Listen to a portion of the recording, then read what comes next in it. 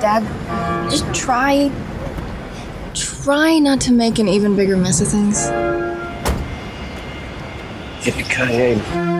First time in Moscow? Yeah, first time.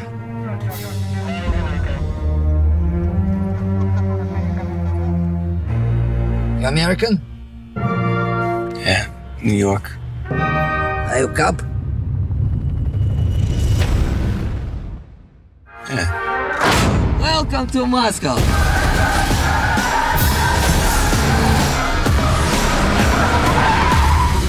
Jack! Dad?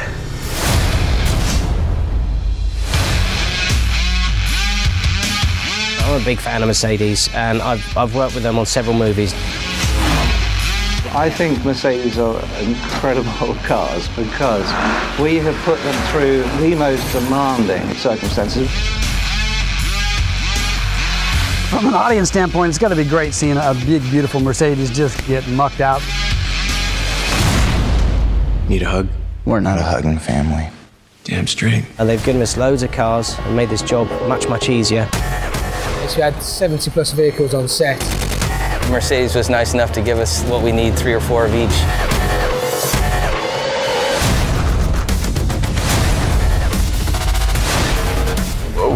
It's a sturdy car. The engineering behind them's top quality. The Unimog, which is the first one that John McClane takes.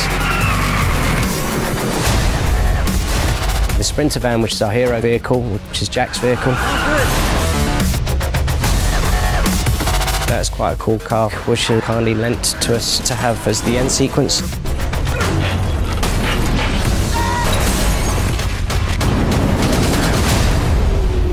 You go looking for trouble, or does it always just seem to find you? I still ask myself the same question.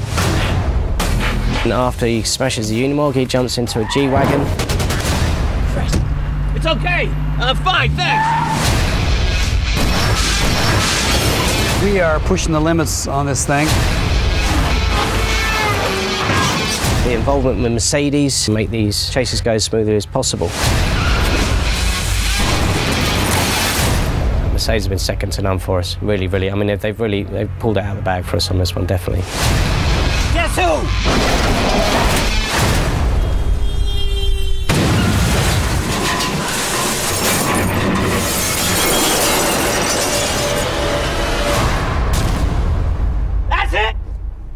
That's what you got!